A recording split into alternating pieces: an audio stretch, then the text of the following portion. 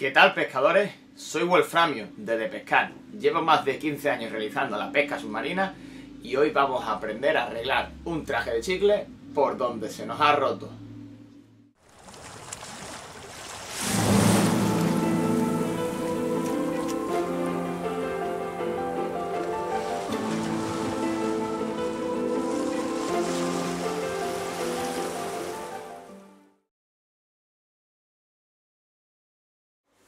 Los trajes de chicle son un poquito más delicados, entonces a la hora de quitárnoslo muchas veces, por nosotros mismos o porque ya el neopreno esté pasado, pillamos un pellizco y en este caso en la capucha ha sido donde hemos sufrido un roto. ¿Cómo tendríamos que arreglarlo? Primero lo que hacemos es limpiar el traje, que una vez ya está endulzado, si no habéis visto el vídeo de cómo endulzar o limpiar tu traje, podéis ir a la pestaña que os va a aparecer ahora mismo. Y lo siguiente sería esperar a que se cara la zona esperar a que se cara y que veamos que todo esto esté bien, que todo esto no tenga suciedad ni polvo. A continuación lo que tendremos que hacer es una cola de neopreno como esta que tenemos aquí para juntarla o unirla o echarla, depende de cómo le digamos cada uno, en lo que es la rotura. Este pegamento no es un pegamento de contacto, así que lo que tenemos que hacer es extenderlo por toda la parte de la rotura, por todo, lo colocamos aquí bien, yo lo suelo colocar en las dos partes, es decir, echaríamos tanto por una zona como por la otra, así, y ahora lo que tendríamos que hacer es esperar un poquito a que toda esta cola o este pegamento de neopreno seque. ¿Para qué? Porque si lo, llegamos ahora a unir, no se va a pegar. ¿Veis? Se queda como un poquito todavía sin pegar. Entonces, lo suyo es dejarlo un poquito que seque cada uno. Y, y no mucho, sino un par de minutitos. Lo que haríamos luego sería ya pegar directamente, unir las piezas. Es decir, tiene que tener como un pequeño tiempo de secado antes de unirlos cada uno a cada lado, ¿lo ves? Que todavía no está pegando bien. Esto no ocurrirá luego, pero poquito a poco, mediante vamos, o sea, mediante va pasando el tiempo, podremos ir uniendo el neopreno. Poco a poco vamos uniendo la parte de dentro, que daros cuenta que es la que tiene que quedar más cómoda, la de fuera la, la, modificaremos luego, pero la que nos tiene que quedar cómodo, en este caso dentro del cuello y que no nos moleste, es esta es esta parte. Entonces lo que tendremos que hacer ahora es ir un poquito a poco, pues mejorando la unión. Una vez avanza el tiempo, ya vamos viendo que esto se puede pegar mejor. Es decir, que cada parte ya está cogiendo un poco de, de contacto con la, con la continua, ¿no? Si no queremos estar todo el día aquí entretenidos, podemos usar un par de pesas, un par de lastres, o plomos, como le queráis llamar, y simplemente adaptarlo a la manera que veáis que sea mejor. Es decir, en este caso, el propio peso de este plomo me va a sujetar que haga contacto con la parte de aquí. Ya sería, no es aplastarlo, ¿vale? Sería que esta parte me contacte con aquella. ¿Cómo lo haría? Con la mano. Lo estaría haciendo tal que así, cogiendo este pellizco de aquí, cogiéndolo de aquí y empujándolo hacia allá. Pues en este caso lo pego aquí o lo, apoyo de esta manera, lo apoyo aquí y así veo que los dos contactos, que las dos piezas se están uniendo y sin necesidad de yo estar aquí. Ahora lo dejo secar, al rato de dejarlo esto aquí, cuando este seque bien, volveré con este pegamento a aplicarlo por la parte de fuera para darle un refuerzo aún mayor.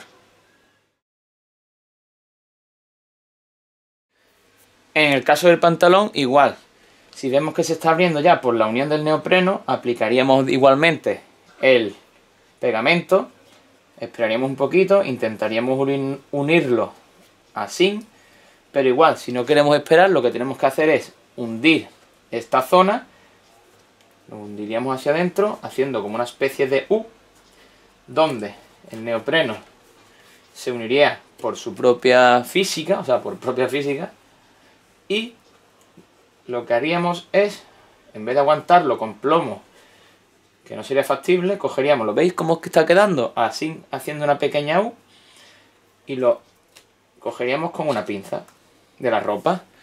Esto ya va a hacer que el neopreno en la parte baja se esté uniendo. Al igual, tenemos otro punto aquí en la zona de, la entrepierna. Haríamos la U. Y la U lo más cerca posible de la zona de, de despegue. Y lo volveríamos a colocar con una pinza. Y esperaríamos ya a que se pegase. Tras un ratillo, pues ya tendremos lo que es una primera base, que veis, lo incluso lo podríamos dejar así, y esto ya está bastante bien pegado. Si queremos apurar más, pues le podríamos echar otro poquito más de neopreno por arriba, lo que pasa es que yo ya creo que esto está bastante bien. Ahora lo que vamos a hacer es echarle por afuera, que veis que se queda esta, este dibujo, bueno, el dibujo del roto, pero sin problema. Le podemos echar ahora este segundo pegamento.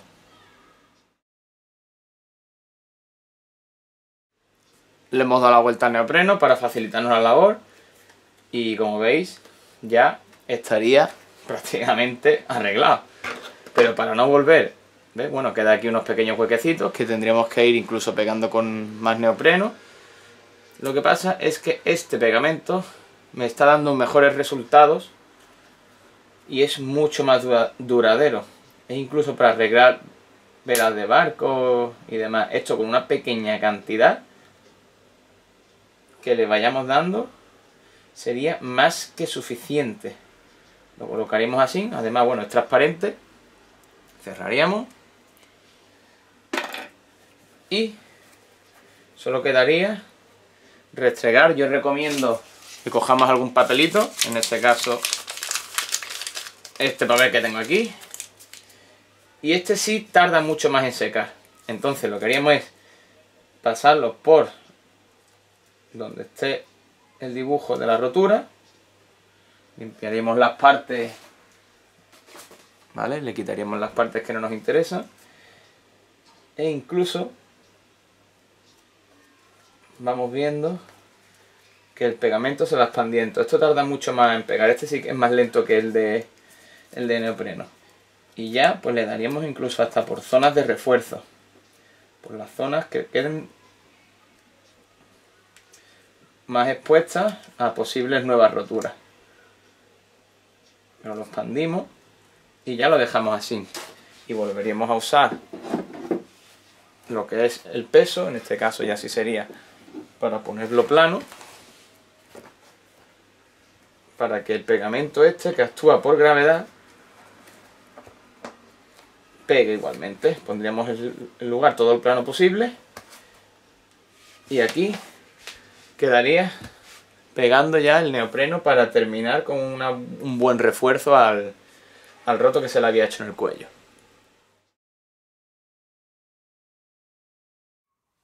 Pues después de reposar toda la noche el pegamento, ya tendremos listo el arreglo. Y como veis, ha quedado como nuevo.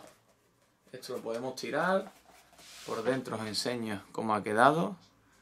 ¿Veis? Ha quedado con el neopreno pegado. Podemos estirar, que esto no se sale. Y por fuera ha quedado de esta manera. Y al del pantalón, que también le hemos hecho unos pequeños arreglos, como visteis antes.